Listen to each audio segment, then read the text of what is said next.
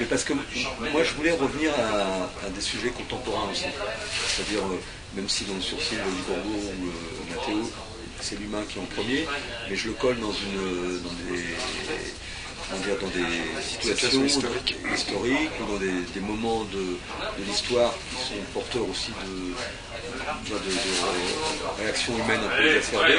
Et là, j'aime aussi beaucoup faire euh, regarder ce qui se passe autour et faire des autour de moi et, faire du petit croquis ou des choses comme ça. C'est pour ça que j'étais tenté pour le faire aussi moi-même Tu voulais un peu sortir de, ce qu'on appelle la grande histoire. Enfin, Ouais. Ici, on se retrouvait dans une histoire plus intime, en tout cas celle plus, euh, comme du journalisme, quoi. Comme, Et euh, pour moi, c'est plus près du journalisme que du roman. La façon même d'écrire ça, c'est comme si j'avais un petit feuilleton dans, je sais pas, dans un quotidien, et puis qu'on raconte des histoires. Euh, de ce qu'on voit autour de nous. C'était plus dans cet esprit-là que les choses.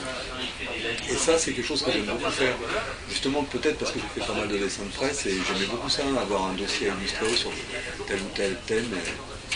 ça prend une semaine, on bosse comme malade, et puis après c'est fini. Euh, on passe à autre chose et ce côté-là me plaisait bien.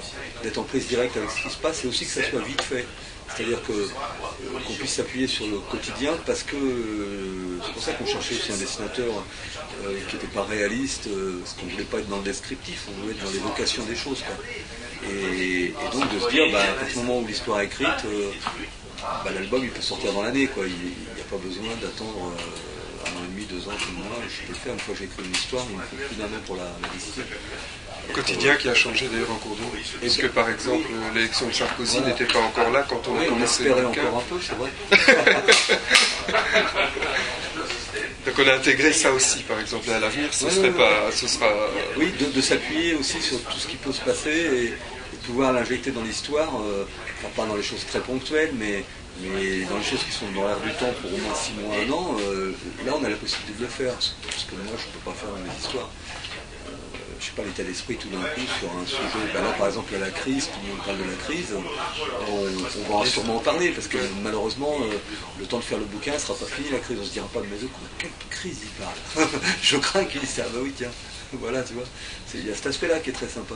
Se dire, euh, hop, on voit, euh, je sais pas, puis il y a des éléments aussi qui sont des grands rendez-vous dont on sait que tout le monde va parler à ce moment-là, donc on peut déjà broder à l'avance un peu dessus. Quoi. Donc ça c'est très plaisant, je trouve, d'être vraiment en prise directe avec euh, notre monde. Quoi.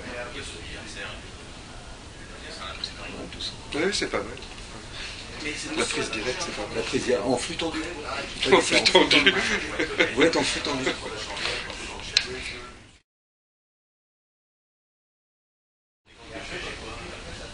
Je sais pas ce que ça apporte en question, peut-être rien du tout d'ailleurs. un, vrai, vrai, vrai travail de collaboration, c'est-à-dire d'être, enfin, c'est idiot à dire, mais d'être sur la même longueur d'onde. De sentir à chaque moment qu'on est sur la même longueur d'onde. Il n'y a, pas très longtemps, euh, il y avait quelqu'un de chez Dupuis qui, qui me dit euh, Mais ça vous a pas posé de problème d'ego? Et puis tout d'un coup, je sais pas, le mot m'a semblé presque vulgaire. Je me suis dit, tiens, ego, je ne me rappelle pas que euh, c'est une, vraie manière d'être dans quelque chose ensemble. C'est pas évident d'être dans quelque chose ensemble. Euh, il y a plein de raisons qui peuvent empêcher qu'on soit dans quelque chose ensemble. il y a la distance géographique, il, y a, euh, il peut y avoir la, je sais pas, les, occasions différentes, les personnalités, etc. Mais ici, il y a vraiment ces moments dont tu parles et où on se retrouve et où on travaille sur la chose ensemble. Ce sont des vrais moments de, partage, de connivence. Moi, ça m'a amené autre chose, euh, là sur le plan même professionnel, c'était justement à partir du moment où moi je livrais, même quand on se voyait Christian repartait avec, euh, je sais pas, une dizaine de pages qui étaient dialoguées et tout. Et après, euh, je ne savais même pas, c'est en gros une série de dialogues, une de séquences, qui mais qui était sous forme de dialogue simplement. Donc je ne savais pas s'il allait euh, en faire 4 pages, 8 pages, 5 pages. Et, et, dans la mise en scène, dans la façon dont il amenait, là j'ai appris des choses. Enfin, pour moi, c'était vraiment bien de voir comment lui s'emparait de, l'univers et, le, mettait en scène, par exemple. Et ça m'a appris des choses que moi je n'aurais pas tout fait de cette manière et ça m'a souvent étonné et je me dis ouais ça c'est vraiment, vraiment intéressant. Voilà, mais c'est un peu finalement, euh, il a réussi à me surprendre comme quand j'avais vu ses premières planches, j'avais compris qu'il y avait sûrement des choses qui n'étaient pas du tout définies, mais qu'il avait mis lui dans son, par son dessin, par sa façon de cadrer les choses et tout ça. Et ça c'est euh, un enrichissement quoi.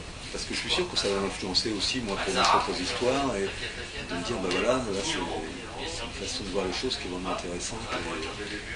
Et, Oui parce que là, là c'est sur des exemples très concrets quoi.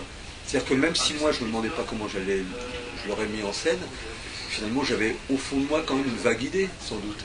Et, le fait d'être surpris, ça voulait dire que lui, il avait une vision quand même différente de ça.